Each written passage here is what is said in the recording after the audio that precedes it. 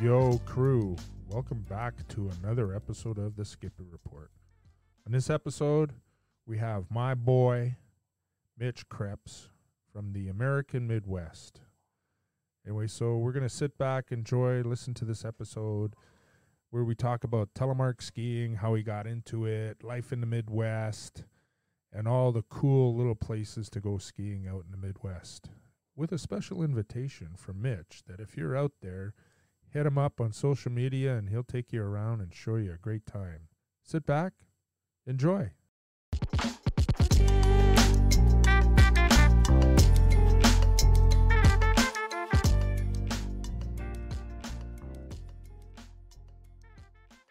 Just came back not too long ago from the the brewery.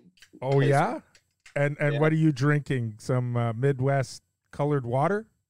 Uh, this is so it's called Heavy Melon. I have no idea. Um, my roommate, she is a pole dance instructor, and she had like this uh this party at a cabin, and so we then got I think about like sixty seltzers for free.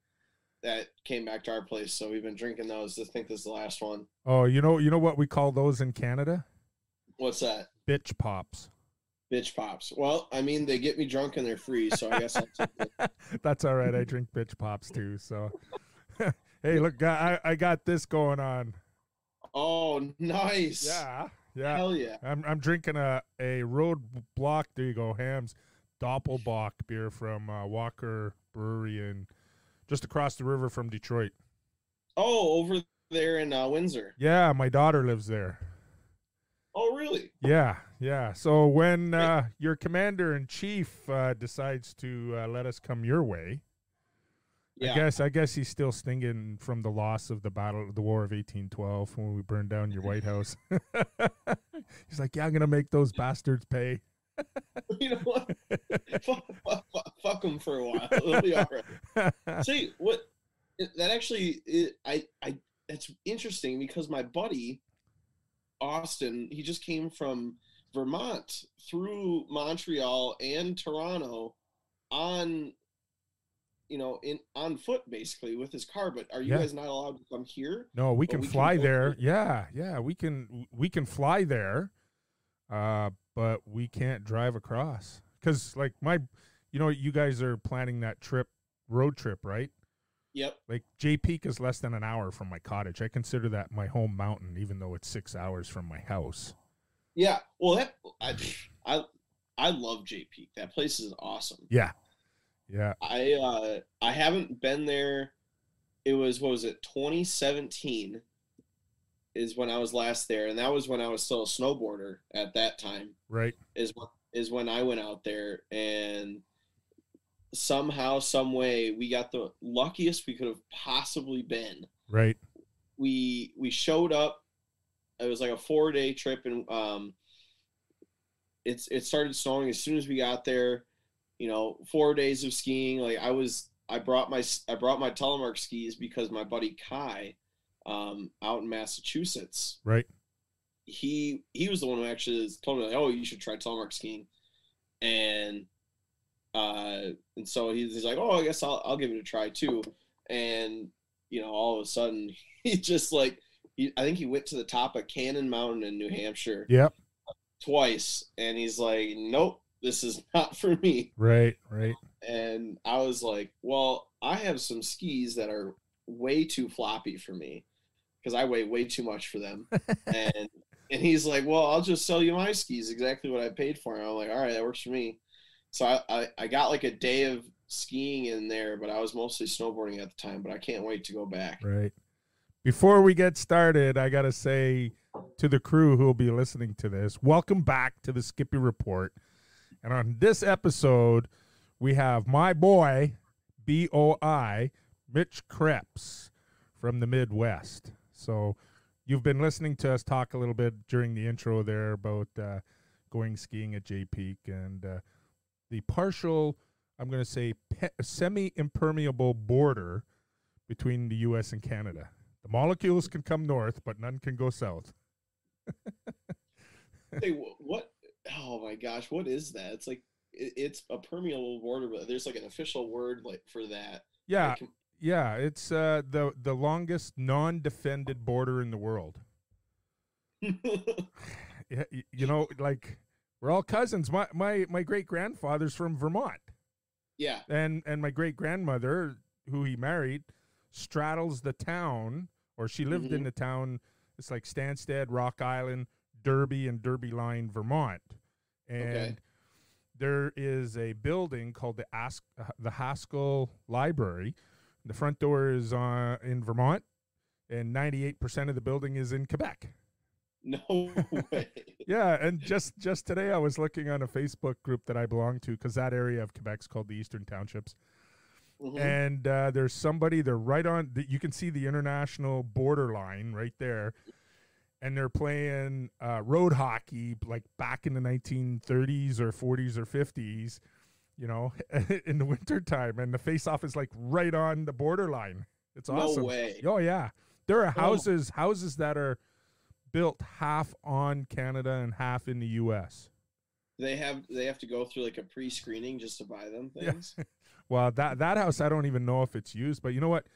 Just a little west, there's a little hamlet called Beebe because it's it's a big granite uh, mining area, and um, when you go down this one road, on the north side of the road is Quebec, on the south side of the road is Vermont. It's just a residential road, but pre 9/11, people could just cross back and forth.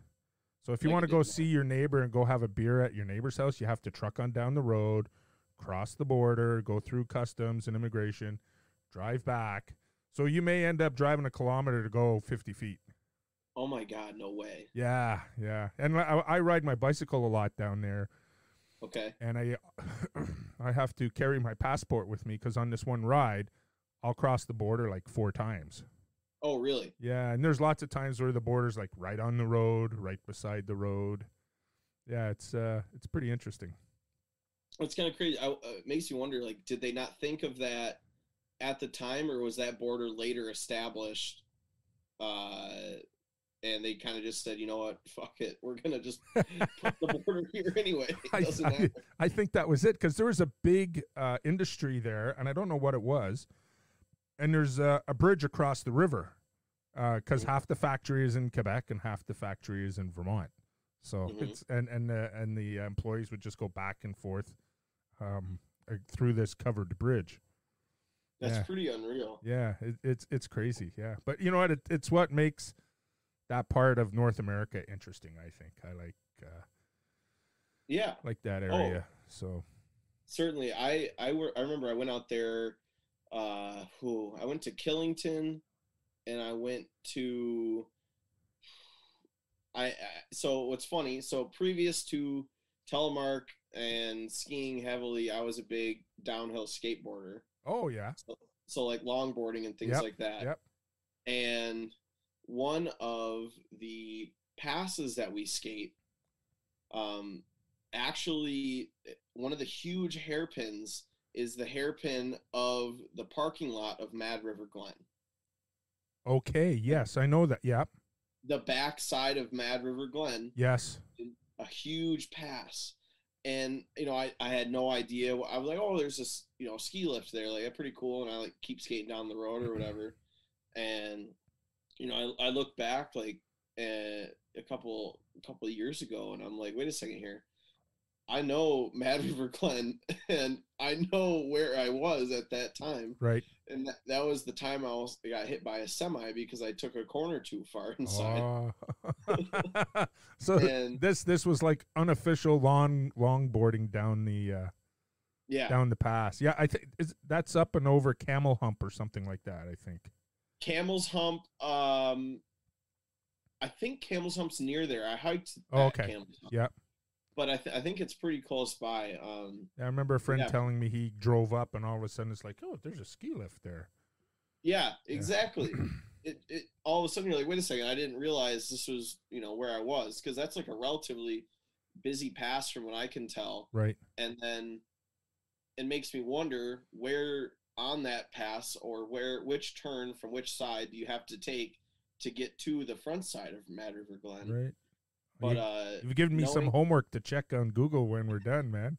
I, I know. I kind of want to look. I kind of want to look as well because Yeah. yeah, I, I, 'cause I remember going. Yeah, I went out there in 2015, and that whole area just made me want to live in Vermont. I, I Right. just recently, I was um, I was interviewing for some new jobs recently, and uh, King Arthur Flour. I was actually uh, interviewing twice with them, and I, that was going to be um, Mad River Junction. I want to Yeah. say is what it is on the border of New Hampshire and Vermont. Yes.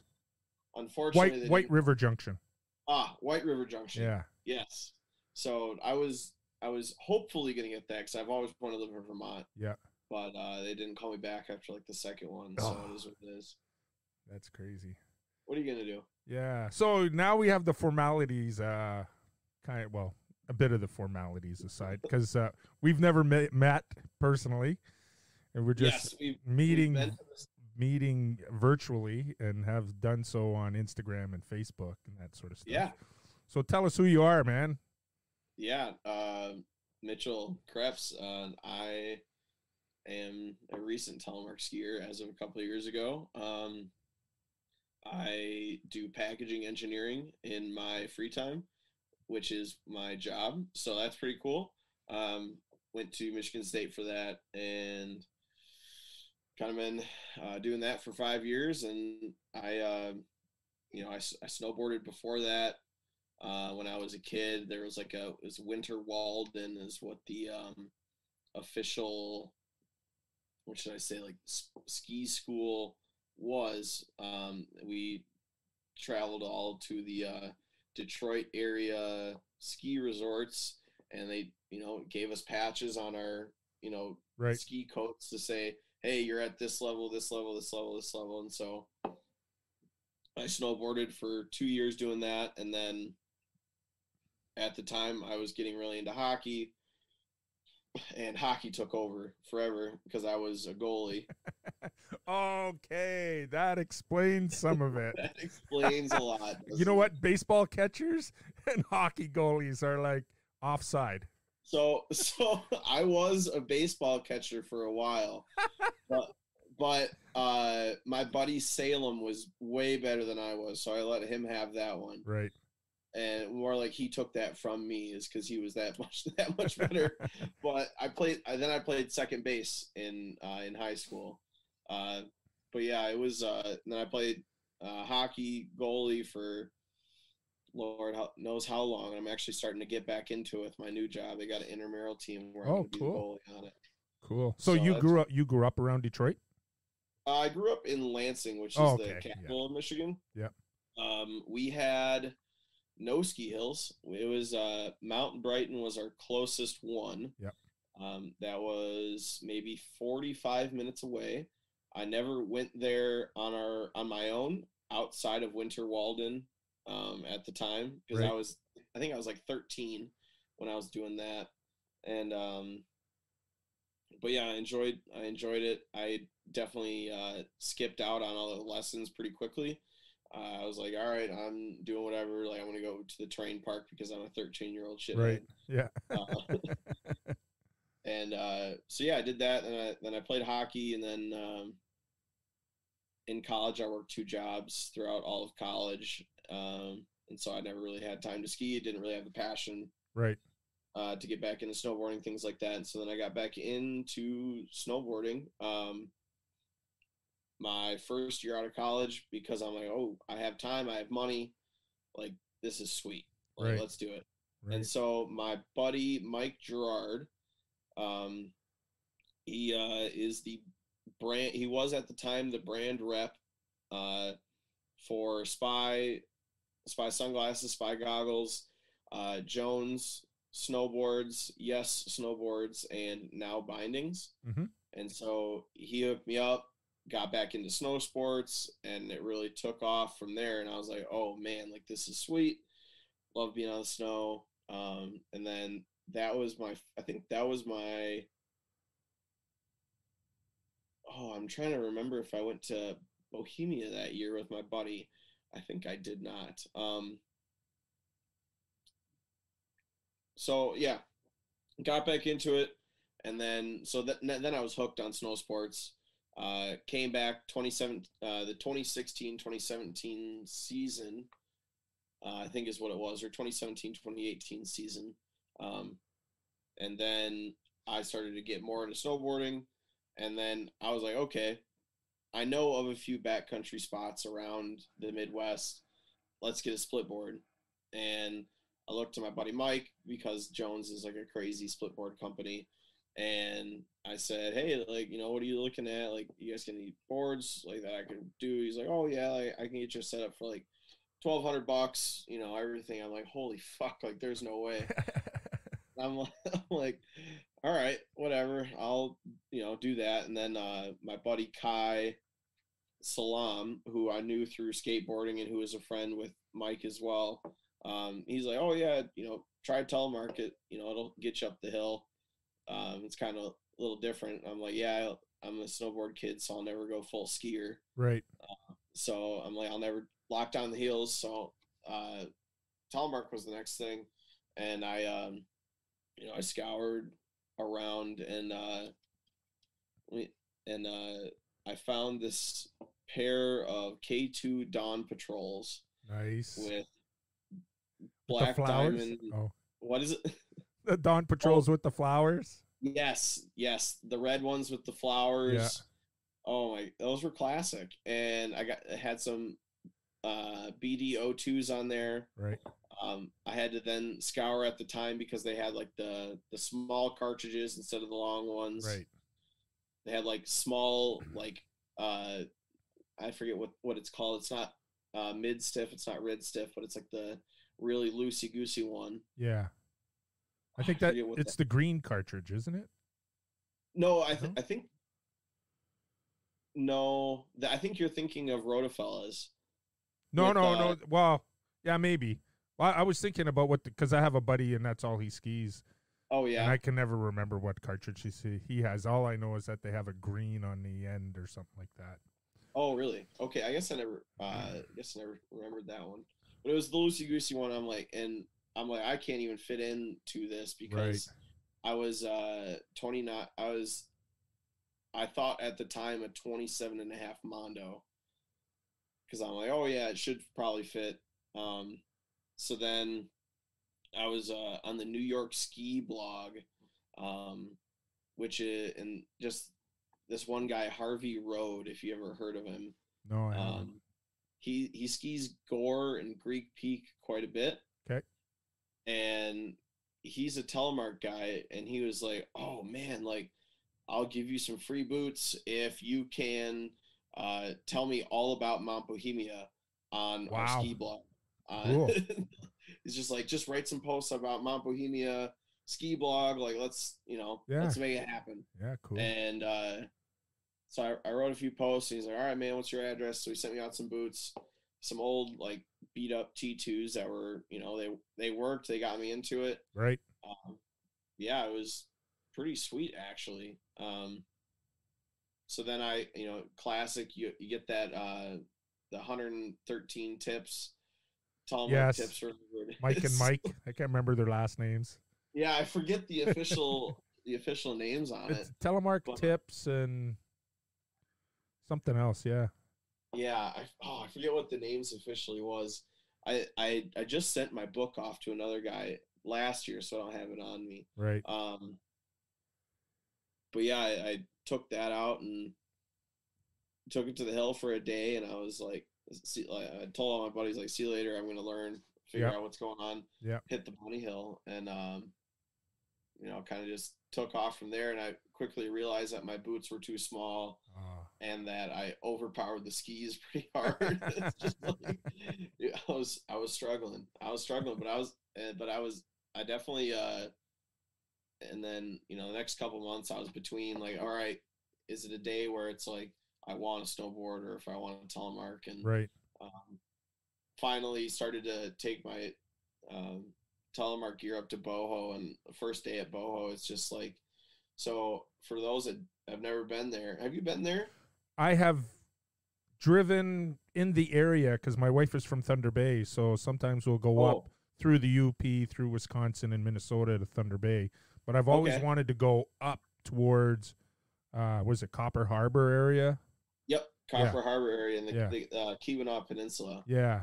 Yeah. And now that we have our trailer, it, we'll get up there. Yeah, you come up come up in um uh what is it? Parking lot camp. Yeah. That'd be that'd be awesome. Yeah, cuz our trailer sleeps 12. Sleeps twelve? yeah, it's it's an actual it, it was it a- it's got a toy hauler. It's a toy hauler. no way. Yeah, so but we don't have motorcycles or anything. We all have uh, we have all uh, human powered toys. So paddle boards, we have road bikes, a tandem. Um, Mhm. You know, our skis, our our garage there is like our back door. So I anticipate when COVID's over and we get to travel or entirely through North America, you know, you're out riding, you get soaking wet, whatever. You can come right into the trailer, strip down, dry off, and then go into the warm part of the trailer. That's sweet. Actually, uh, that makes a lot of sense. Uh, my uh, so my roommate, um, who helped me start technically Midwest Telly Dads. Yep.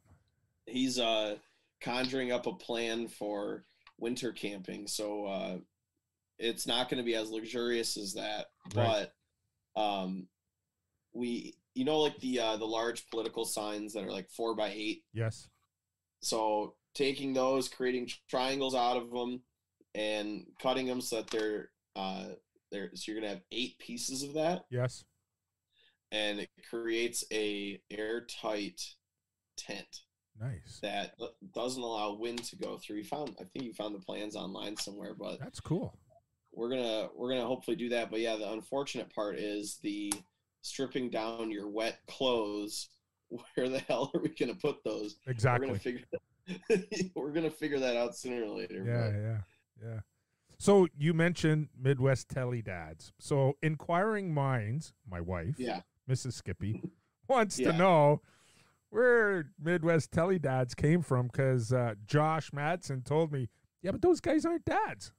Yeah. So my wife wants to know, and I said, well, maybe they wanted to hook up with the midwife or Midwest Telly wives. Yes, it, uh, pretty much where that one came from. Uh, so it is. I've always been called out for a much older person than I am. Um, when I was like 13, I was asked to the bar by like my barber and things like that, and I'm like, I'm sorry, I'm like only like 13. um, so I've always been like, oh, I'm like, I look like a dad. I got the mustache. I got the big gut. Like I'm in. So I'm a dad. Um, and then No, no, no, look- no. That's it's the father figure. The father figure. Yeah, Okay. Not the dad bod. It's the father figure. I, like, I like that. I, I do like that. Uh, Just don't put a collar on. That's all. okay. I can do that. So uh, let me think here. So that's how like the dad came about. I've been, you know, normal th- normal dad stuff for a while. Um and then I think it was just like I started to get into telemark and I'm like, "Oh, we should get a crew together." And I had been big within Midwest marketing to an extent, like uh right. my buddy Kai, who got me, who told me about this whole thing, he, he's like, "Oh, you should do. Please come to the Midwest, similar to how they do.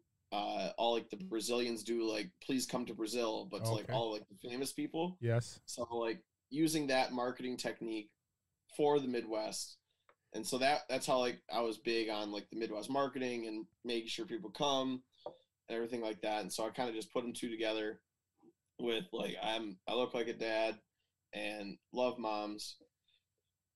And that was kind of really it. Uh, and then I was, me think here. I was pretty drunk at uh, Pictured Rocks. Um, we were hiking along the north shore, well, the south shore of Superior. Yep. Or, or by Munising. So we were hiking that, and I was pretty drunk because some dude randomly pulled up in a, a pontoon ap- after we'd been hiking for like a whole day and a half because we hiked out. Had the next night that we had to, you know, backpack out of, and he gave me a, a Bud Light, and I had uh, a big thing of uh, liquor, and I was celebrating after that. And so then I was I started thinking I'm like oh like I, I had like the idea come to come to my mind of like uh, you know like Midwest telly dads, and then that's how I had a patch idea come together where it was the the badge with the two ribbons Yeah, yeah. and the beer. So originally it was um, Ham's. Yeah, there it is. Yeah, I'm, So I'm holding I'm holding up one of his uh one of Mitch's uh silly pints Yes. with his uh, logo on it. And, and I noticed that there's Labatt Blue there. Yes. So originally, Labatt Blue was not going to be there. So originally it was Hams, which I just cracked one. Um, best beer around. Cheers. And cheers. and uh, so originally it was gonna be Hams because that was my myself, uh, my roommate Jake, and my buddy Willie. That was all of our favorite beers. We all I technically kind of forced them into telemark skiing. Um, So Just you're you're a televangelist. Yes, yes, I had. So that that same uh, set of Dawn patrols that I had got my buddy Willie into skiing, and then got my roommate Jake into skiing, and so now, um, so they were both telemark skiers, and we were at the time the core of the Midwest Telly Dads. Um, so we loved hams, and we also loved Lacroix, just because that's also a Midwestern beverage. Uh, Yep. For those that didn't know, Uh, Is I that is that a beer? it is a seltzer water, Oh, okay. but uh, we we always do Lacroix and gin because it tastes like uh, bitch pops, as you say, Right. but it's but it's gin instead, and you get way more drunk. So that's always fun. See, we call that panty remover up here. Oh, okay. That there that'd go. be good for the Midwest telly dads. yeah, yeah, any any gin, any drink, gin and uh, mix a panty remover. okay. Yeah. My wife is going to be slapping me because she always listens to these. Oh, that's great. Say we. there's uh. I mean, Thankfully, there's- she's a pinhead also. Oh, oh, really? Yep. Okay, that's awesome. Yeah, she uh when I tried it, I told her, "You should try it. I think you might like it." And she was like, "Nope." And then um she was going to do it and then she had a bad ski crash. She's missing 3 weeks out of her life. And she even had a helmet. Her goggles really saved her.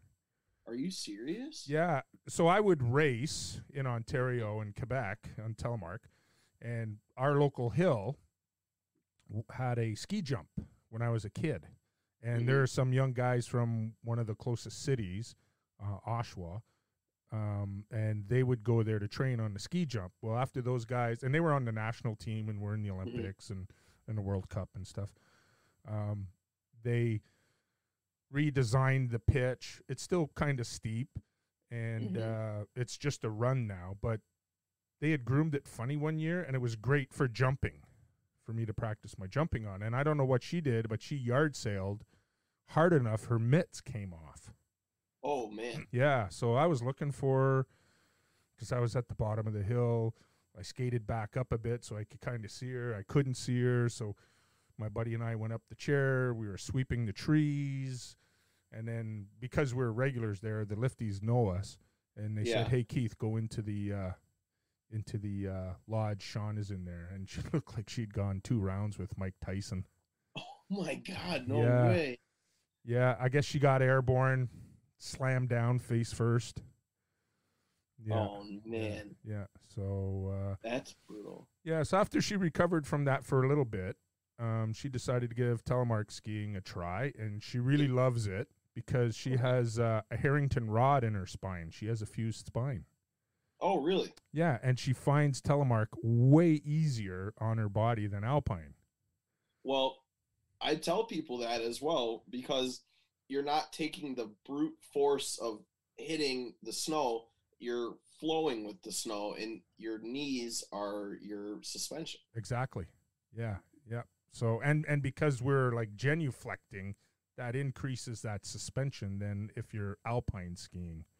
Mm-hmm. Yeah. So anyway, so she doesn't, you know, she spends half her day alpining and whenever she feel like throwing telemark turns down, she can, and yeah, she enjoys it a whole lot. So I've got her some skins, some of the black diamond uh, uh, kicker skins, I think they're called.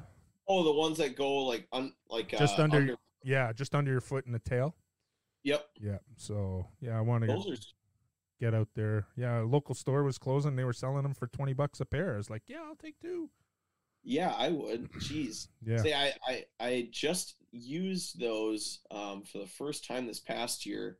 Um, the I was in I was in Michigan for oh what was it for? It was for Christmas time, and I had a I had my backcountry set up that I was going to use because I was going to go up north towards Traverse City area. Yeah. Um, and my, one of my other buddies who's never telemarked before, I had an extras telemark set up for him because we were going to go to this local um, backcountry spot called Mount Mancelona. If you Mhm. ever heard of it. Nope. But I knew I do know that they're skiing up around Traverse City. Yep. Yeah, it's uh slightly northeast of Traverse City, but it's um maybe 30 minutes from there. Okay. And uh it's just this little spot where there's a guy that owns it and one of my buddies from high school does the glading there. Okay. And so it has like two pathways to get up um, you know, left side or right side. And it takes you up to three different peaks technically Cool. that are up there. And so my buddy, uh, Tyler, uh, never telemark before. I'm like, hey, I got a touring set up. You don't necessarily have to do telemark turns on it, but you can use it to get up the hill if you want to ski with us. Yeah. And uh, I had some of those kicker skins um, on some of the steep parts because um, this guy, um, oh my gosh, it's gonna make me mad. I can't remember what, he, what his name is, but he gave me some. Uh, I gave my skins to my buddy, and uh, this other guy gave me some scaled Voile BC skis Right. and some and some kicker skins, and so I had to use the kicker skins on a few of the Yep. really steep parts because I couldn't. There wasn't enough spot where I could even, uh, you know, zigzag back Yep. and forth. Those things, those things work really well, and I'd actually want to get a get a pair of them. Yeah, a friend of mine, I mounted uh, some telemark bindings on some uh, G3 skis that they made like that. Yeah, Yeah, that they don't uh, they don't make anymore, unfortunately. Because he, Yeah. you know, we probably ski the same sort. We ski the woods. We don't ski the trees. We just kind of go out and bash, bash through the woods, right? like, hope, hopefully somebody you know brush cut all this stuff. yeah, yeah. So and and he's up uh, in Collingwood, which is uh the northern part of the Niagara Escarpment, and uh, Okay. so he just you know throws his skis on, leaves from his house, and takes off into the back country, and he's got some trails uh, that he knows of, and he can descend through there and has lots of fun. And when he wants some more serious skiing, he just goes down to his uh, his ski club just down the road. Oh, really? That sounds pretty sweet. Yeah, you know it's interesting up there. They have private ski clubs. Say we have. Uh, I I've I know of one in Wisconsin that I've been to for mountain biking.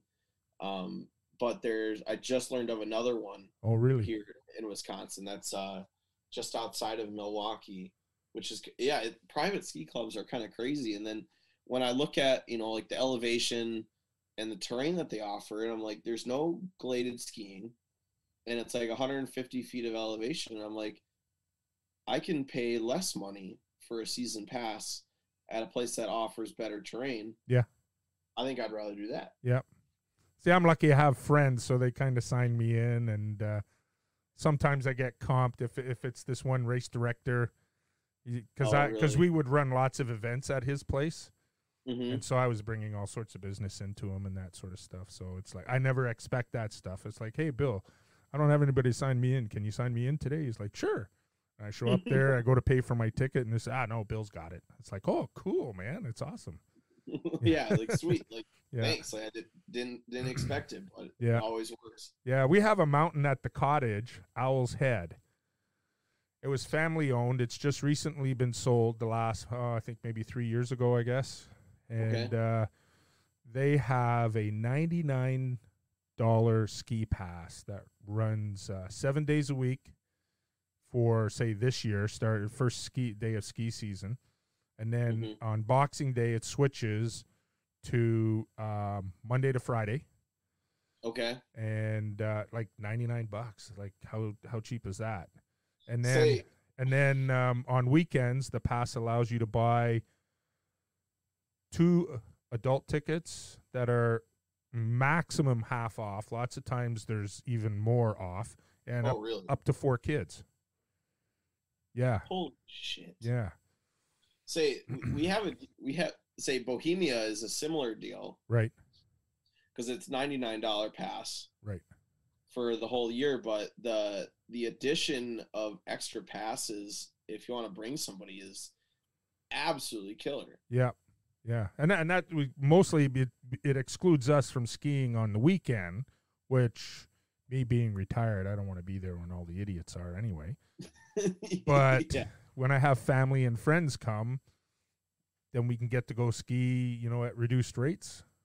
yeah, You know, that's pretty killer. yeah, it's awesome. And you know what? The new people who have bought it, they're locals, they're uh, marketing lawyers, and Mhm. and uh, they're keeping it old school, just updating stuff, putting new chairs in, and uh, fixing up the lodge and that sort of stuff. Building a couple of condos, keeping it on the low, not very big.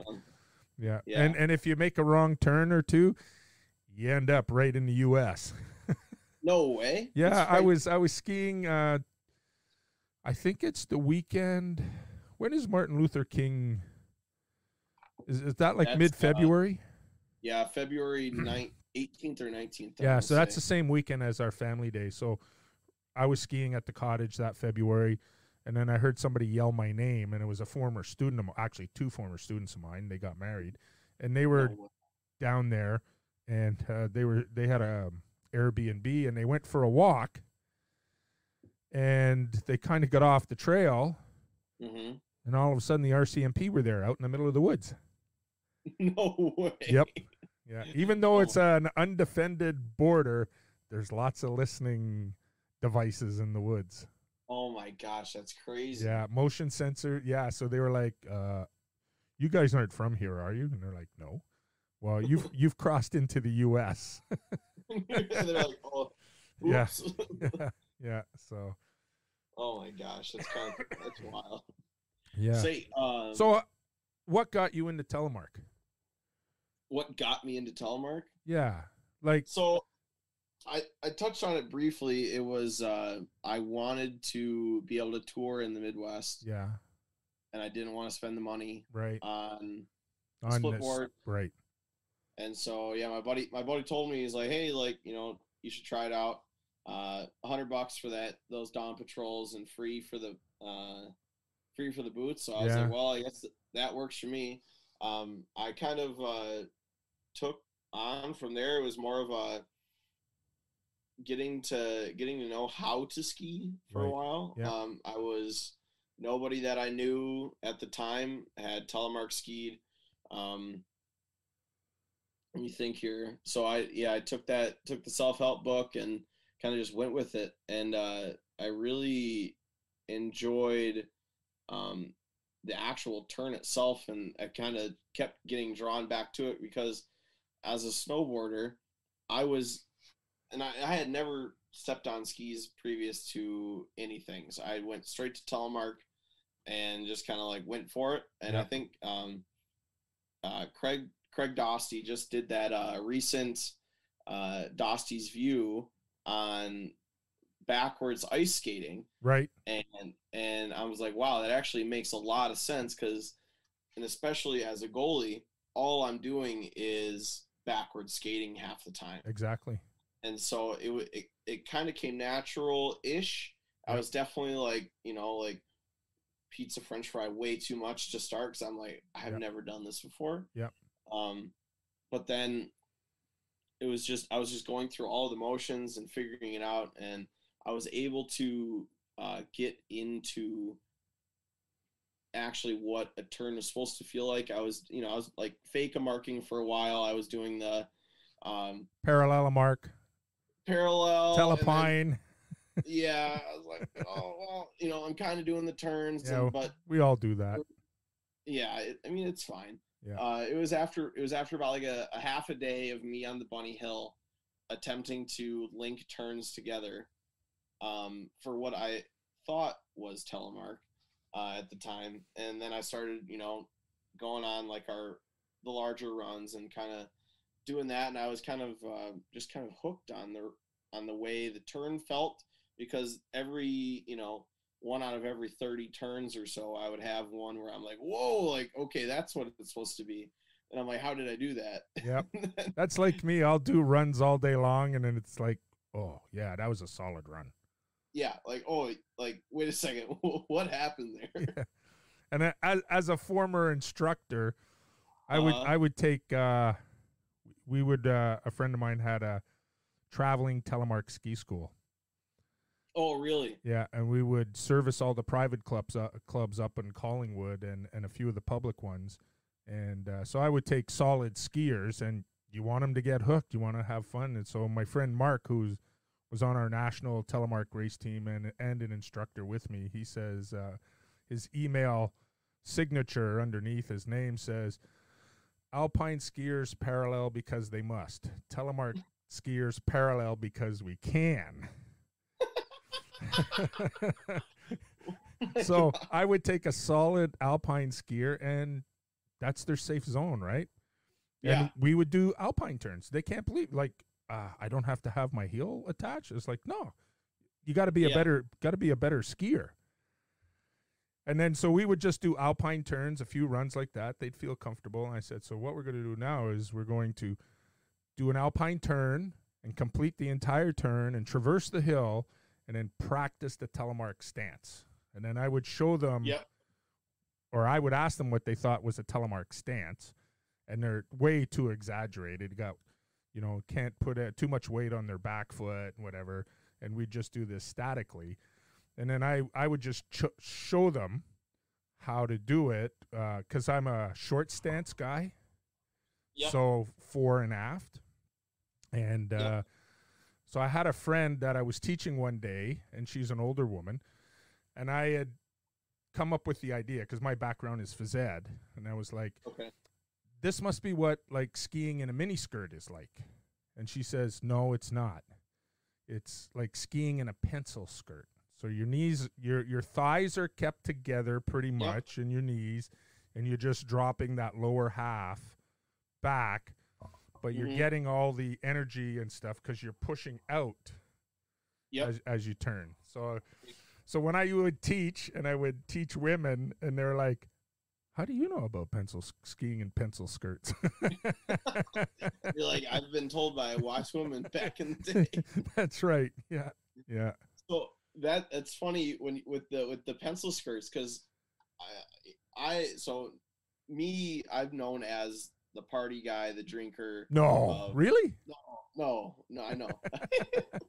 so and I will say, uh, especially in Wisconsin, every- everybody loves drinking um, all of what, what should I say?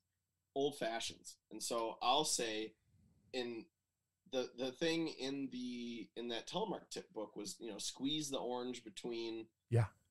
your knees. Knees, And exactly. I'll just tell people, just keep that old fashioned straight up, and you'll be all right. You got to keep it squeezed. And it's exact. It, just keeping them tight. It, it works. It's it's pretty funny. And what's also really funny is the the way you say you would. It was the traveling telemark ski school. My my really good buddy Nick Grissett, who is a big part of uh, Midwest Tele Dads, and he runs the uh, Lower Peninsula Pinhead Reunion, okay. which which is at uh, Caberfae Peaks in January. Uh, it's gonna be, I think it's gonna be the third year this year is when the, is, that's going on. Where But where's Caberfae Peaks? Caberfae Peaks is in uh, Cadillac, Michigan, Oh, okay. which which is south of Traverse City. Okay. Because I've good- I've skied at Boyne Mountain. yep, I So was actually just there not too long ago for Oh, a really? wedding. oh cool. Oh, that's those are the posts that I saw, the wedding posts. Yep. Okay. on Instagram.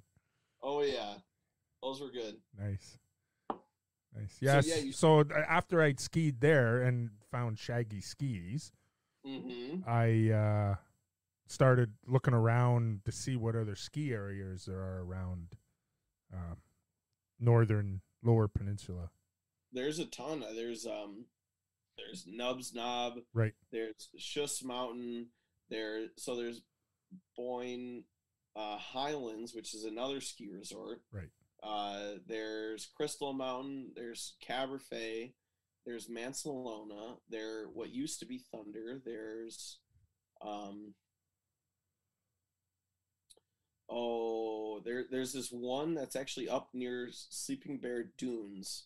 Um, you can actually see the dunes, and it skis down to the lake, I believe. Really? Uh, yeah, I, I just saw it recently, and I was like, oh my god, like I need to ski there right. because that looks incredible. But yeah, there's there's a ton of skiing up there. Yeah. It's ridiculous. Yeah. It's That- absolutely Well, that that's like in and around here. So Toronto being the center, there, Mhm. there's probably one, two, three, four, five, six, seven. Oh, and there's a little, t- couple little tiny hills right in Toronto. You Oh, ski, really? ski down into a ravine. Yeah, it might be like a hundred foot vert, but it's a great place to teach. That we had this program in Toronto that we teach telemark skiing, and my buddy Mark, who I Yeah. mentioned before, he'd show up to teach, and he'd get off the bus, get off the city bus, with all his gear. no way. yeah, yeah, yeah. That's incredible. Yeah. so oh my god, that's awesome. Because my my my buddy Nick is the same way. He has um he's got this Astro van that is he, he had converted at a point, was living in Idaho, came back to Michigan where he's from, and he has this he has a ski box on top that has maybe I don't know, ten sets of telemark skis. Wow. and and they're all they're all hammerheads pretty much on there. And so whatever size you want we we can have it. That's and he's cool. got ton tons of boots all the time. And he's just like hey you guys want to you know you guys want to try it out? And then like you know we have uh, this whole crew of people that are skiing like a tiny resort Yeah. like you know like 200 feet vertical but like everybody's trying out telemark and then it's just you know growing the scene and then now um now we've seen a few of them uh have moved out to you know montana and moved out to salt lake and now they're like hey like i still telemark like That's right. it's yeah. more it's like uh, we're trying to get into it again rather than um, full bore but it's it's nice because like they have the foundation. They're like you know why not? I've been alpine skiing for how long? Like let's try this new thing. And it's really really cool to see and it, he's absolute blast to ski with. It's it's a lot of fun to um, allow that progression and that's what i've been doing with um, when i had a bunch of skis before i sold them off to uh, a bunch of friends to get them into it it was just like hey like hopefully you're my shoe size Yeah. Yeah. try it out we'll figure, we'll figure it out later type of thing Well, I always say that telemark is to skiing what fly fishing is to fishing. Yep.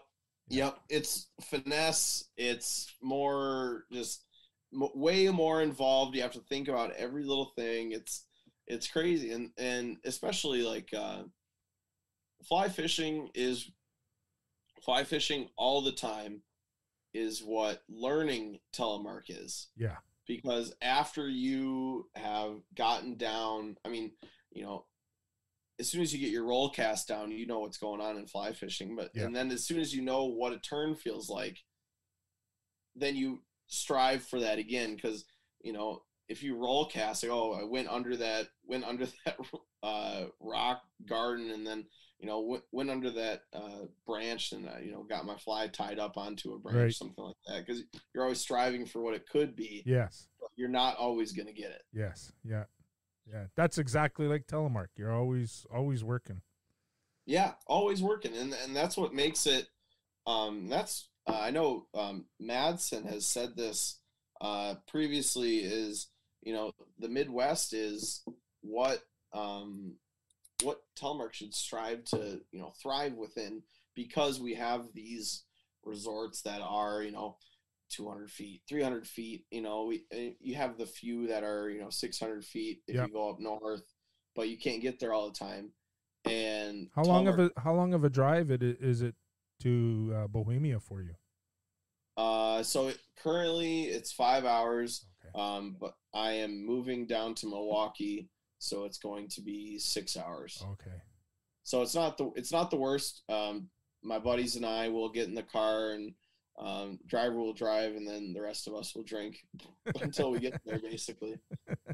Nice. So um, so Bohemia is not far, and that's like that's like you know top tier premier stuff. Like right. uh, Yeah, it- Matt but- Josh was blown away by what was there, and I think Taylor. W- did you ski there when Taylor was there for the Midwest Telefest? Yeah, so they came to uh so let me see here. So they they met up with Keith. Um Keith is the Yeah. owner of the, you know, Free Heel Life Midwest and he's been running Yep. Midwest Telefest for oh, I don't know how long. Um I think like 10, 12 years now. Right. And so he, he met up with them. Met up with Keith, his wife, and his son, who are all telemark skiers, which is really cool. And uh, they went to Whitecap, which is in the town, uh, which is just outside of the town of Hurley, Right. which is the most populous, not not most populous, uh, the highest concentration of strip clubs anywhere in the U.S. is in Hurley, Wisconsin, which is on the border of uh, Wisconsin and the UP, which is right over by where uh, the Stormy Kromer factory is. if you know Okay. Stormy I do. I have a few of their caps. Yes, I know the story, I love Stormies. and I- I everybody have- around me ridicules me. What do you got your goddamn Elmer Fudd hat on for? I said, man, you want to hear the story? And I would tell them the story, and they're like, yeah, oh, that's cool, man. right. Yeah. it's it's really sweet. I love I I love my Stormies, and I I found my the first one that I owned. I actually found out in a thrift store in Maine. Okay. I was out there, and just like I'm like, oh, that's my size. Like I'll I'll take that. Yeah. Um.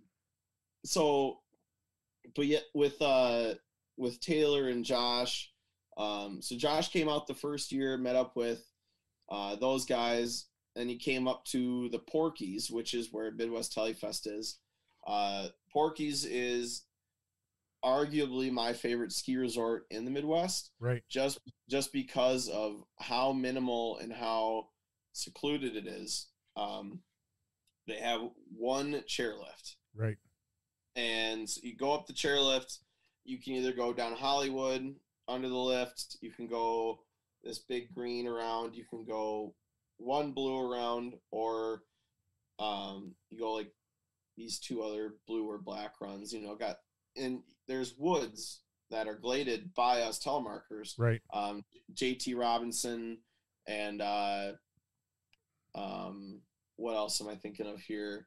Uh, Keith and uh, Matt Manders and that crew um, go up every fall for a you know lopping fest and uh, you know glade some new runs for us. Right. And so what's what's really cool is there's a lot of different gladed runs with uh, different cliffs, uh, different pitches that are actually there's some pretty steep stuff over there, um, and that's just off the main chairlift that you can access, and Right. then from there you can you know basically skate ski over to a tow rope that takes you to the farther west side of the hill that will open you up to it's called Porky's Plunge, uh, Porcupine Plunge, which is a old um, old lift line, and it's just absolutely everywhere. And it there's always a lot of really good snow during the middle of the day, um, and a lot of the stuff over there doesn't get touched very often because people are just skiing the lift Right.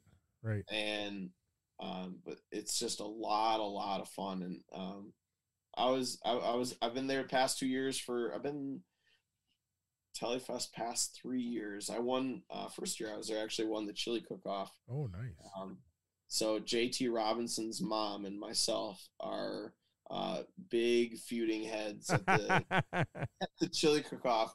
Every year she's like, "I'm taking you down, Mitchell," and I'm like, "There's no fucking way." Like, I got- She she pulled out some pretty pretty solid moves uh, two years ago. Um, was uh, 29, 20 yeah 2019 or 2020. Um, yeah 2020 she pulled out stuff because uh, COVID hadn't officially Right. set in 20, 2020 February. Um, yeah, she pulled out some solid moves and she got me on the chill, uh, the chill cook off that day. But uh, What do they look yeah. for? What do they look for in your chili? uh, I don't know. I think it, it just depends on the crew. Um, Right. there was a so the first year I've, I've had the same chili recipe, so I, I come back with it because it's consistent, and I've won chili recipe chili cook-offs outside of Midwest Telefest before. Okay. uh, with the same recipe. So it's just classically spicy. It's um, it coagulates pretty well. Uh, not pretty, not runny. Right. Um, solid, just like a hearty flavor. Yeah. Uh, I'm not necess- I, I'll. I, don't get. I should. I shouldn't say this here. I don't get too experimental in the regards of, you know, like white chicken chilies Right. and vegan chilies and things like that. But I, I stick traditional. Yep. But I add flares within traditional right. Right. Right. to set it apart where it's like, okay, this is what a chili should feel like, and we have these crazy flavors going on. Right. Yeah. We we uh my daughter lives up in the middle of 541 acres. Mhm. She's got 1 acre of the 541, but in the wintertime we're able to use it's uh big uh, cash crop fields and in the back is a forest and then across the road is a 40 acre valley and stuff so the Mhm. uh, she takes care of the farmer's land and watches things so he lets us uh, play out there so we have this awesome garden out there and uh, so we've been uh, growing a bunch of different peppers this year and stuff the tomatoes Oh, are really? nuts so the the ladies have been putting up all sorts of different salsas so my wife Sean Oh. she decided okay well we're going to put some of these peppers in how's that so we truly have mild medium medium hot hot Mhm. And then I told her she made the hot stuff yesterday. I said, "This is good, but next time let's put two Scotch bonnets in it." Oh, Yeah. oh, and then yeah. today, yeah. So there there was some good solid heat, and then uh, today she made some salsa verde, hmm and it's primo. It's got decent heat. She thinks it's too much. She's a lightweight when it comes to heat. Say, I I am the guy where I will tell somebody that something is not hot, and then they have to use milk because like, what did you put me through? yeah, I, I like the heat too, and I, I experimented. We had tacos today, and so she makes her own tortillas. Mhm. And Ooh. and in uh, Windsor, there's this uh, shop where a butcher shop, and uh, my daughter found out they make this uh, garlic spread. It's like sour cream, okay, and it's it, it's just garlic and water, I think, and it's just pulverized and whipped. really? So I was expecting a lot of heat from the uh, from the salsa verde that I put on my tacos, but I guess that garlic dip has the same neutralizing effect as sour cream would, but Yep. it has the garlic taste. So it- it's I was like, man, these these are the best tacos you have ever made. Oh my gosh. Yeah, Say, I, uh, that actually surprises me because normally when I add when I make my own hummus, Yep. I add ungodly amounts of garlic, right. and it's spicy because of the garlic. But I'm surprised that it was neutralizing Yeah, In way. yeah, and this garlic spread, uh, we just open it up and dip chips in it. You know, like Yeah, oh you yeah. put it on whatever you want. Yeah. So it's, I'll see my wife eating it. And I was like, okay, I better have some because you know what? I'm sleeping with you tonight. You'll be seething garlic on me. Right? As long as it's reciprocated. That's right. ways, the garlic. yeah. Yeah. That's awesome. Say, uh, you have been to Snowflea before. I have not.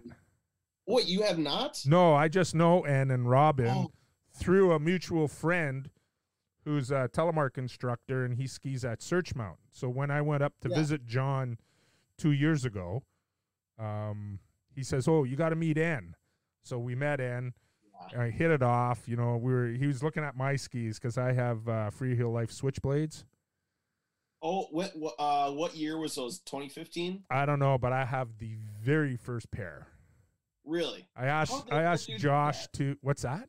How'd they let you get that very first pair? Uh, I'm friends with Josh. I was like, because he, I, I, I keep in touch with him a lot and that Yeah. sort of stuff. So yeah, I bought those, and so N looked at those. I was like, "We want to trade?" He goes, "Sure." So, and and he had a pair of DPS wide boards. I'd Oh, never, a I'd never ski. Yeah, I've never skied really wide boards, so it took me a couple of turns to figure out how to work them. Yep. But everybody loves those switchblades. So now Josh has got the Protector series out. Yeah, the protector of the turns, right? Yeah. So I told him, I said, okay, so I bought your very first pair of your first skis that you ever made. It makes sense that I'll buy, hopefully, your very first pair of Protector 95s. So Is that so? Uh, what I I I know that they're making them. Are there 95s, and 105s. Oh, 95s and 105s? Okay, Yeah. Yeah. So interesting. and when I talk to Taylor, because you know, you, you send an email, you're interested, they call you, they tell you all about the ski and this, that, and the other thing. So they're not unlike the switchblades. And I'm, They're I'm not unlike. Okay, Yeah. so probably a different flex pattern out. Yeah, after time different wood. different wood in it, I think. Uh, yeah. So and then the 105s, I think they might be like the Rude Boys. Okay. Yeah. Yep. I I've- know um, Alex LeBlanc out in New Mexico. He sees those quite a bit. Yeah. I know I was uh, I've never been able to try uh, NTN until I went to visit Josh. And uh, my 75 millimeter boots are 31 and a half T races. Oh Lord. Yeah, or 31 T races. Anyway, so we got up early in the morning and molded a pair of uh, of liners, and I crushed my foot into 29. and I went skiing. I Oh. went skiing on a pair of. Uh, oh, you know what? I think they were the 801s, which is the pre predecessor to the Rude Boy. Yep. Oh yes. yes. And they were all excited for me to get on them because they had accidentally made them a little stiff Okay. and you know i'm six foot six 275 280 pounds right Yeah, they probably fit you proper. Uh, yeah well i got i got back at the end of the day and i was like i want these skis and josh says you can't have them i was like oh and even when i went to visit him on my big road trip in 2018 it's like dude those are my skis and he goes no you can't have them Why? That's that, that blows me away. because they were the especially first pair they- of the 801s the very first pair of 801s that he made So you, I mean, but you have the very first pair of the switchblades. Yeah, that's okay. I'm not. I'm not because you know what? I had skied at Brighton that day, and oh yeah. and uh, you know what? They handled everything because we got. I hit the storm cycle right that week. I've never really traveled anywhere to ski except into Okay. the east, and it was the end of year party Josh was having. So I said to my wife, "Hey." We should go and surprise Josh at this end of year barbecue that he's having. And she's like, You don't even like airplanes. And I was like, Well, she goes, You're gonna you're gonna spend six hours in an airport and fly. I said, What's the difference of me going to Jay Peak skiing and then driving six hours home? Anyway, so she's looking and Yep. so that idea was poo pooed. But then she says to me, I can send you to Utah. And I was like, damn straight you're going to do that because you said that. so she found out that the uh, off peak, off travel peak to Utah from Toronto is December, January. I was like, are you kidding me? That's prime ski season. Like, Yeah. Wait a second. Really? yeah. So I, I, yeah, made arrangements and flew down there, rented a car, and met with the crew. And I get up in the morning and take off to go ski real early while they were almost all still asleep. Oh, And- really? yeah. That- they're they're that- like that- snowboarders. They get to the hill at crack of noon, according to my world. that that is surprising to me because when they were at Midwest Telefest, Right. they were very reserved. We had I had to forcibly bring them to our hotel basically. Oh, really? Oh, they yeah, they were not about it, and I was just like, you guys got if you're gonna come to the Midwest and you're gonna come to this festival, you have to party Oh yeah. with us. Right. And we were we we had it. we even I don't know if you know about it, Carling's Black Label. Yes. Hey Mabel, had- bring me a black label. Yes, that was my grandpa's beer, and we had we had a case of it, and I was like, you guys gotta come. and they finally cracked on the Saturday night, and they came and partied, and then I think now after hearing, they're all just like, we want to come back now. Right. I'm like, exactly. Like you guys had there was there was the breaking point of partying with the crew Right. that needed to happen. Yeah. Well, when I was down there, it wasn't because they were partying. Oh, really? Yeah. I don't know. Maybe they're younger. Uh, you know what? I ski. I get up. I go to the cottage. I'm there to ski. I remember one of my last trips with my sister and some friends. It's like, yeah, it's ten o'clock. Good night.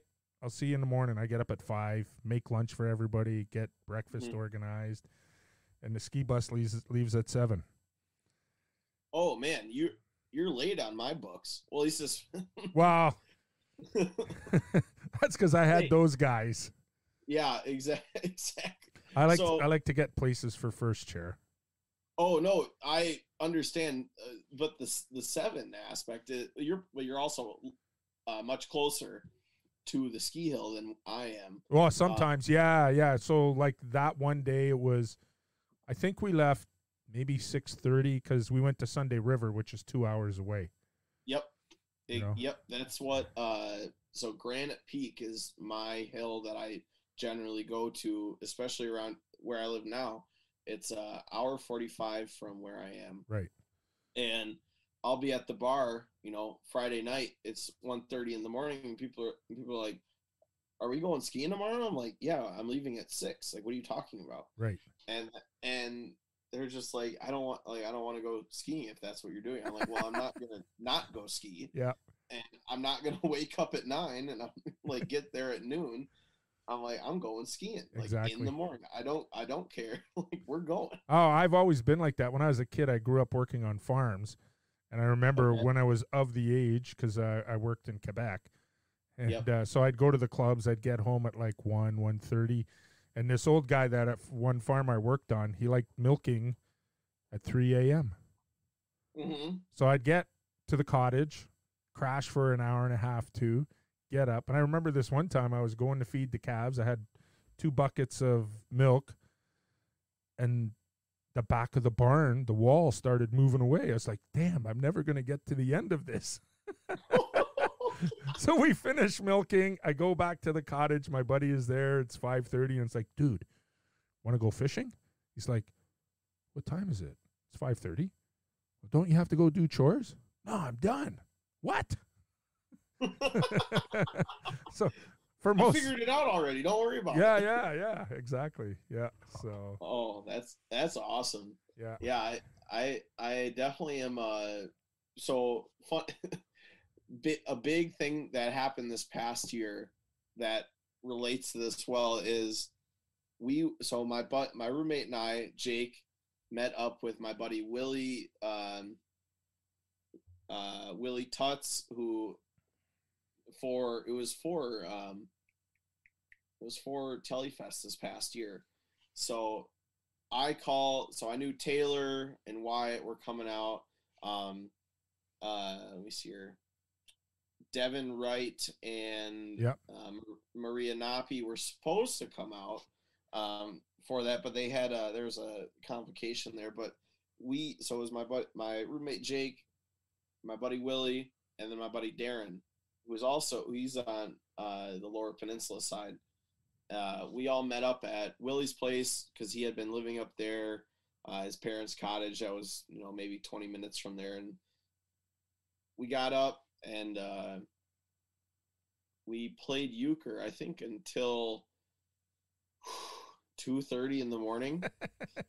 and I had been calling I've been calling Taylor and Wyatt all day. I'm like, you guys are gonna come, like we're gonna go in the morning before the lifts open. We're gonna, you know, go climb up because um, what happened was the weekend previous there was not enough people to run the tow rope at the at the Porkies, Right. and so they had been they had gotten a 12 inch storm day on Sunday when they didn't open.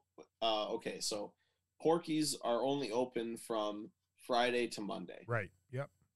So on Sunday they got a 12 inch storm, maybe 16, and then Monday they got you know another eight, and the tow rope both those days was not running.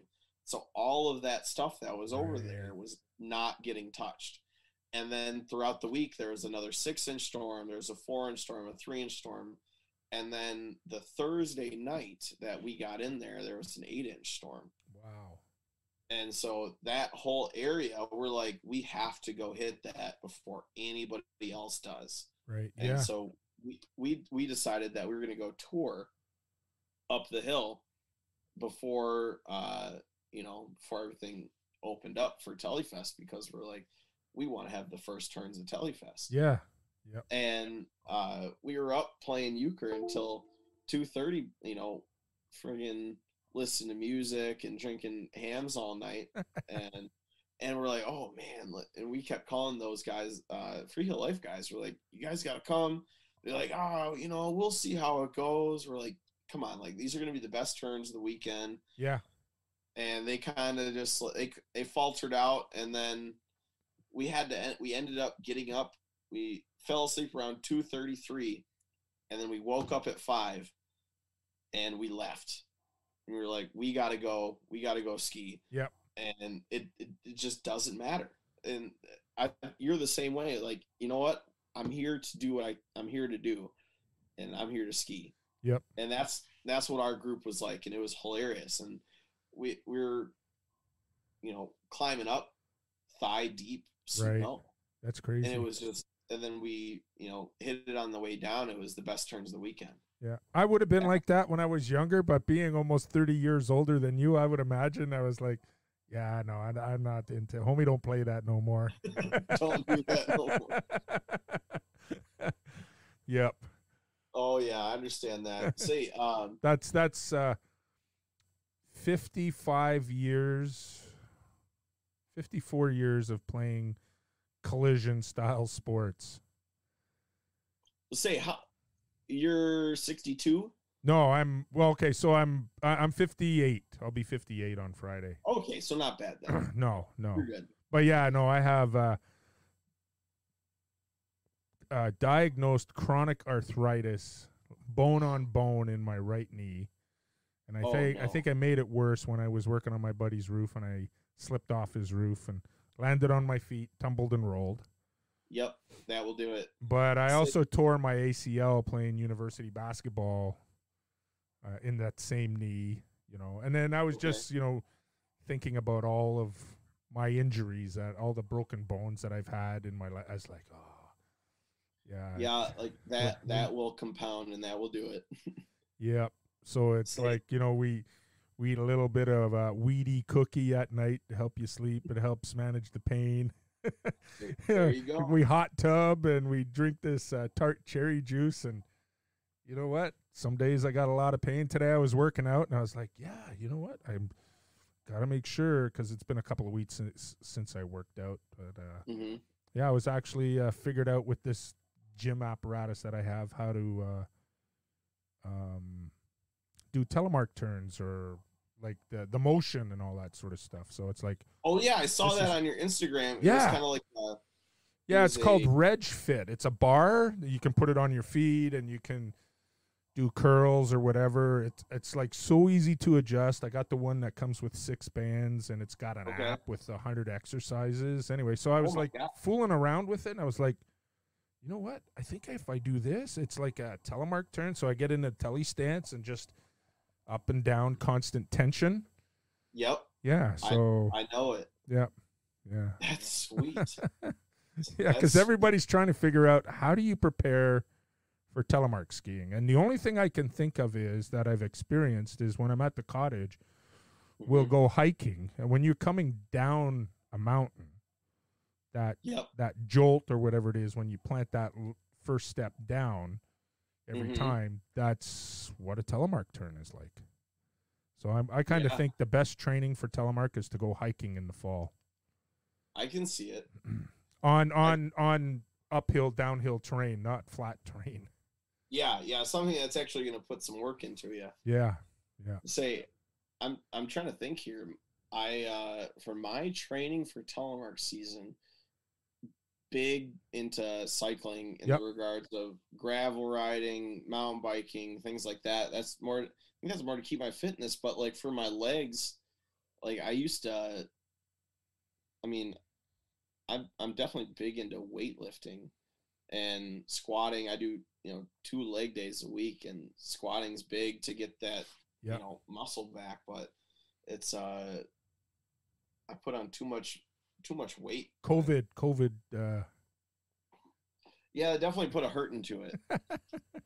I definitely put a hurt into it. It Yeah. was uh it was brutal, but I, I think I just needed to get on the uh get on the bike a little bit more. I always ha- I always go in, you know, waves of I'm oh I'm really into cycling. All right, maybe Right. not now. well, I spent 30 years of commuting to work by bike, even in the wintertime. Really? Yeah, yeah. So I know all the back. I know all the roads in our county.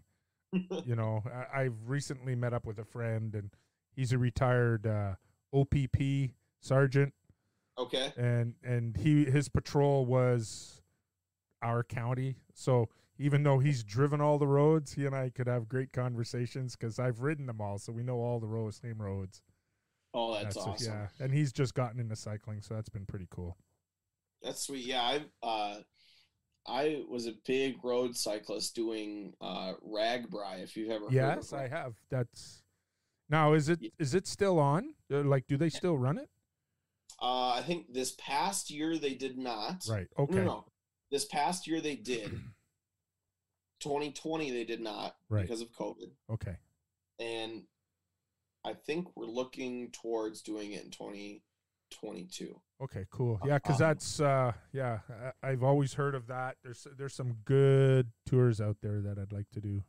Oh my god, it's it's crazy. And my uh so my girlfriend's mom's friends or grandparents' friends or something told me about it. And I got really into road cycling through that. And that was the best thing that I could have ever done for my body. Because I, I rode, you know, like the 1500 miles that they tell you to ride before even Wow. doing it. And that's it's awesome. And I would highly recommend anybody to do RAGBRAI if you want.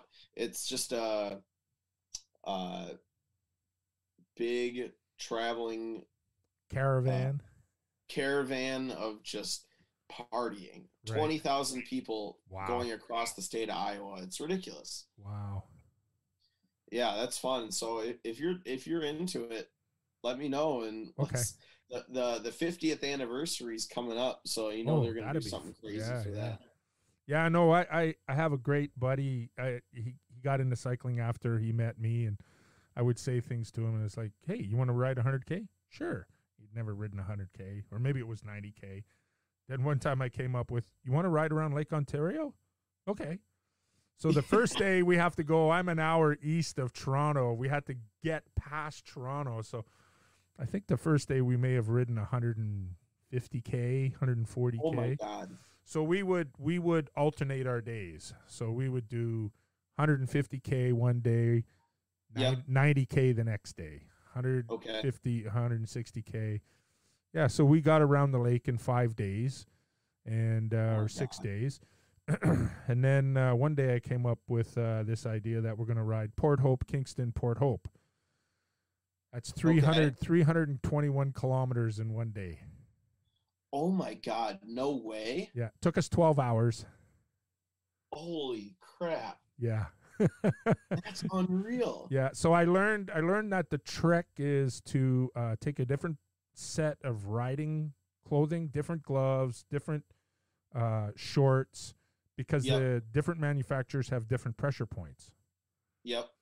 And and then so we changed. We went to my aunt's house in Kingston, and we changed there, had lunch, and it was kind of funny because Jeff he's he may be listening to this, uh, and he, he says to me, "You know what? We have to eat a thousand calories an hour." It's like, dude, I can't eat that.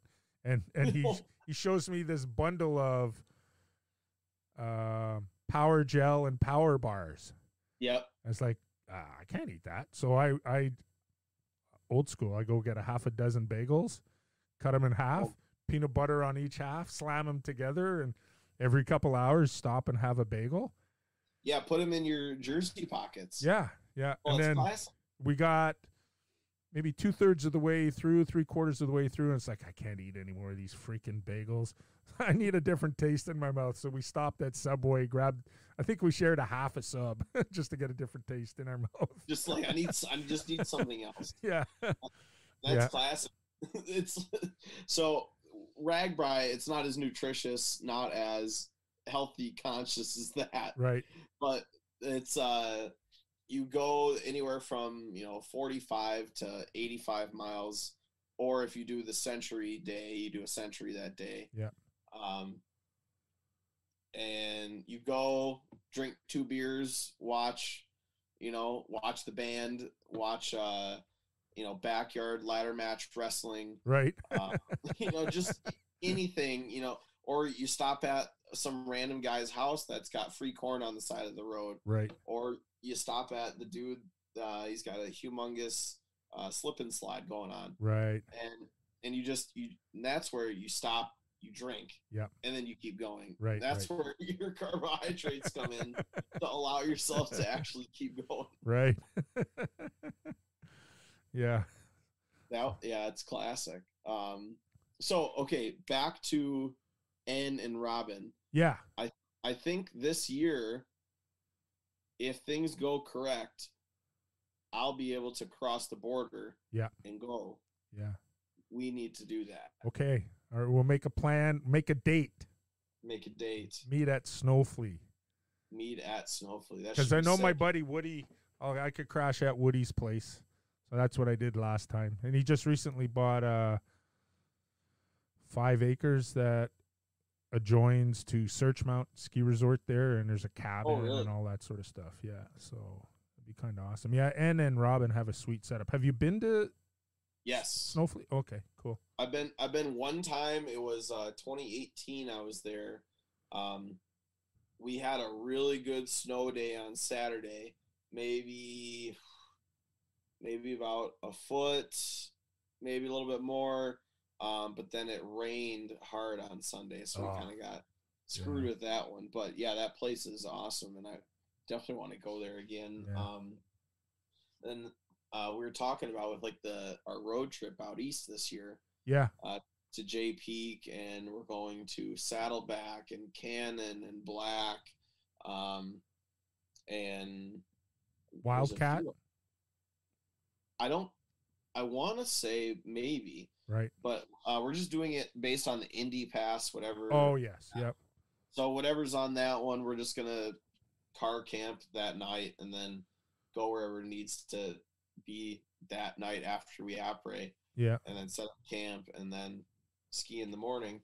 You should make Um, a make a stop at uh, Ellicottville. There's a huge telemark crew there, and uh, one of the guys I interviewed, a friend of mine, uh, Adam Sourwind, Mister Adam X. He's on Instagram, and uh, Okay. he'll work there infrequently, and uh, yeah, he's a telemark skier, and he's uh, got stashes all over the place so you can ski and not have to pay. Oh, really? Yeah. Yeah, should- Ellicottville? Yes, it's south of Buffalo. So I'm gonna Oh, hypothesize. okay. Yeah, you're gonna you'll probably be going down through the interstate. What is that? Interstate 90? That goes uh, along the bottom of uh, Lake Erie from Lake Cleveland to Buffalo. Yep, I think I think it's it's the it's 80 90 across the Yeah. south end Yeah. and then it splits. Right. Yeah. Yeah. Anyway, so it's it's just south of there.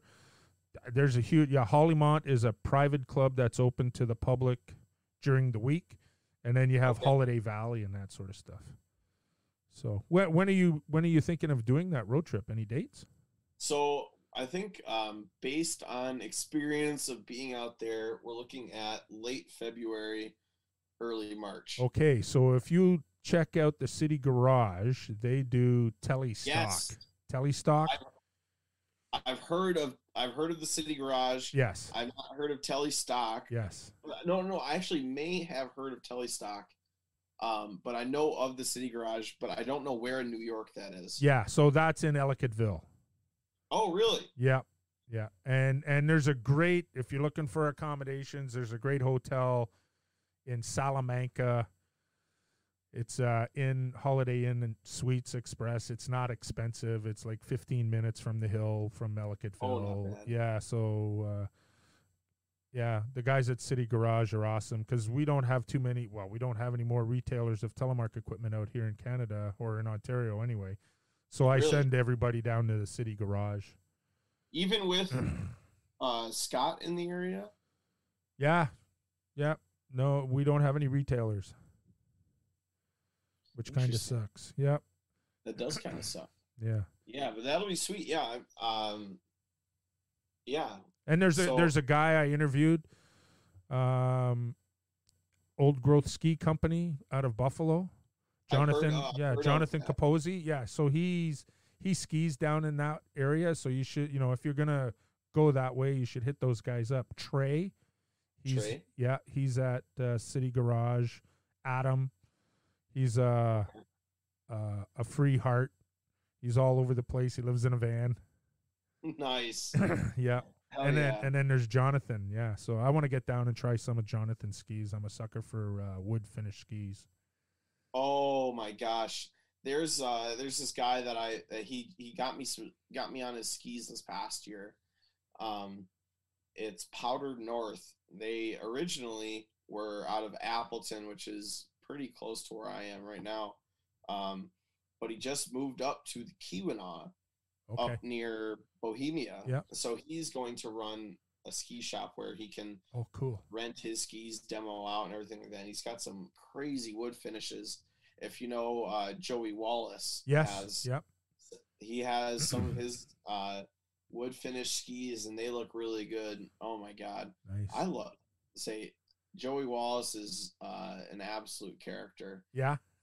oh my god, I he's incredible, and he's he's uh he's definitely the person that taught me how to telemark correctly Nice.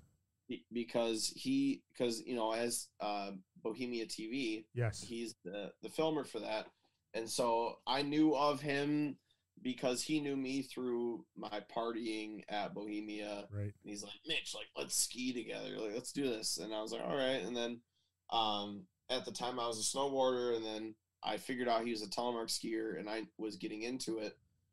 And he's like follow me follow these lines. I'll show you how to telemark in the trees. And he is the reason why I can actually telemark in the trees. Yeah. See, I can't do that, man, because I don't know. Maybe my skis are too long. I can't turn that fast. See, I I had I had some 184s. I have 180s now. I feel like if I actually want to be able to ski well in the trees, I got to go 176s, right. something around there. Yeah. But uh, but yeah, he he taught me how to ski in the trees, and which is uh, and skiing at Bohemia, you're you're not necessarily actually carving anything. You're just Floating. uh, you're turning and falling down right. you're just like, hopefully, I have enough snow to push against that I can keep falling Right. without running into something. Yeah, there there's a I remember taking some of my family to uh Snow Ridge, which is on the eastern shore of Lake Ontario. and it's an 800 I think it's an 800 foot vertical resort. I don't know how many runs they have, but all I know is they only have 8 snow guns cuz that's all they need. And they get slammed with lake effect. You said it's on the east side of Ontario. Well, it's in New uh it's in New York. Okay. Yeah, and it's on the eastern shore. It's near Watertown, not far from Watertown, New York. And, oh, okay. yeah. Yep. And um, so oh, I, yeah, lake effect there is oh yeah, brutal. oh yeah, yeah. It's it's crazy, and uh, we've skied like they'll they'll groom just the middle third of their runs and leave the outside thirds ungroomed. Yep. And my daughter's boyfriend wasn't too happy with that because he just got back into skiing or snowboarding, and there's nothing pushing back when you go to turn. it's not a groomed run. oh my gosh. Yeah. So this this guy Chris at uh, at Granite Peak where I go. He's a really old school telemark guy. Always wears a Boston Bruins Right. um, Adam Sandler jersey when he goes skiing. But I, I would ski with him every once in a while because he's a telemark guy, and I'd always see him like, "Oh, Chris, like, what's going on? Like, let's get some turns together." He's like, "You got Hamm's?" And I'm like, "I got Hamm's, like guaranteed." and so we'd ski together, and we and he taught me that the best skiing is always on the outside of yes. The runs, Yes. and and that's what he's like. This is how I learned to make tight turns, is because I want the good snow. Right. I'm like, oh man, this makes sense. But yeah, it's funny that they only s- uh they only do like the middle third of the run. Yeah. I like that. Yeah. I like that a lot. yeah. I was uh, at Burke Mountain, which is uh, Yep. Ski academy. Oh, do you? Okay, so I I was there with a friend in uh, late December, a few years ago, and uh, I had my Ontario racing jacket on, and they had the ski academy going. So they've got uh, four courses, two one stacked on top of the other. So the Okay. kids, the racers, come down. They get their info from their coach. They run a course. There's uh, a coach in the middle. He debriefs them, and then they back into the gates. So there are two lines like that. So it was lunchtime, and the course was empty, and there's somebody up in the start hut, and I was like, I've been skiing here. I've been watching everybody skiing the center and skiing the gates. Do you mind if I do a few runs down the outside edge? He's like, oh have at it. So it was awesome. So it was nice. All that powder. yeah, everything gets pushed into it. It's That's right. great. Yeah. Oh, people people people don't appreciate what you can get in say 11 a.m. to 1 p.m. at a resort. Yep. Because of everybody pushing snow. Yeah. Yep. Oh, it's awesome. And, and I ski here in the little town where I live. So we'd have Yeah. a snow day. I don't know if you ever grew up with snow days. yes, I so school school was on, but the buses didn't run, and you know there might be twenty kids in the school, right? Oh, we had snow days where nothing mattered. Oh. buses didn't run, teachers didn't show up. Oh no, we here in Ontario, uh, only once in my career was the school board closed, and I had started walking to work, and Yep. the director came on the radio and said the school board was closed. I didn't know. I got to school, and it's like I'm pulling on the door, and the custodian from down the way he goes, "Yo, dude, school's canceled." Oh my god. Yeah. So when we would have these snow days, there's this one road and it has a boulevard and the trees are perfectly spaced. So at lunchtime, I would go home, grab my gear, do a few runs, and then go back and teach whatever whoever was there. And uh, the kids would come back the next day and go, "You skied at lunchtime yesterday, right?" And I was like, "Yep." right in town, you know. I just ski down maybe a couple of hundred feet, walk back up, ski down. Yeah. Yep. That sounds that sounds like what uh Dale Mickelson does on his lunch breaks, but he's he's luckier he has Whistler there. Oh yeah, yeah, for sure. Oh, that's funny. Yeah. So on that note, where can people find my boy Mitch Kreps? Well, um, you can find me right here in the Midwest. Um, And you got to go to the Midwest. He wants to have Yeah, beer with please- you, wants please to come. shuck corn with you. Yep, we have dollar beers uh, on tap quite everywhere. Uh, so come on over. Uh, if you fly into Milwaukee Airport, uh, I live about. I will be living about seven minutes from there. Nice. Um, so that's not too bad. But uh, you can find me on Facebook, Mitchell Kreps, um, K R E P S. It is German for small crab, which is pretty cool. Um, and uh, you can also find me on Instagram with Kirkland Mitch, K I R K L A N D Mitch. Um, but yeah, I am. I'm there. Uh, if you are on Twitter, um, I'm there. Young Giamatti. I look like Paul Giamatti. So Y U N G Giamatti. So that's another thing. Um, but yeah, I'm, Awesome. I'm here. I'm hanging out. I uh, we've got a lot of events. So Christmas Eve is our first Midwest Teledads event. Uh, we ski Pine Knob, and if you want to come ski Pine Knob Christmas Eve, get away from the family nice. because I know it's stressful sometimes for some people. Do the Midwest Tele Dads have any uh, social media presence, or is it through No. you? It's more of just like a hashtag. Okay. Yeah. Uh think I Josh told me I should actually probably get a true uh social media thing going and I just haven't done it. Right. Um but yeah, so hashtag Midwest Tele Dads. Um that's what we're doing. And then we got uh lower peninsula pinhead reunion that is going on in sometime in January and then February 11th is the Midwest Te- uh Midwest Telefest. Cool. Well, I hope I hope the border opens for us so that uh, some of us Canucks can come down and visit our northern U.S. cousins. Yes, yes, Yeah, definitely. yeah. So That'd be awesome. yeah. Well, sweet. Anyway, so uh, thanks for uh, coming on to the Skippy report. Yeah, I enjoyed it, and uh, hopefully we get to ski. hopefully so. Right on. All right, man. Hope you have yourself a wonderful day. Well, there you have it, crew. The end of episode number 18, with a special thanks to my boy, Mitch Kreps from the American Midwest. He's based out of Wisconsin. And if you're interested in checking out some famous Midwest skiing and glades, woods, not skiing trees, we ski the woods in the Midwest and the East, hit Mitch up on Instagram at Kirkland Mitch and on Facebook, Mitch Kreps. Anyways, thanks again, Mitch, for doing this. It was great fun. And hopefully, as soon as the border gets open, we can meet in person instead of over Zoom. Anyways, crew, check back later for another episode of the Skippy Report.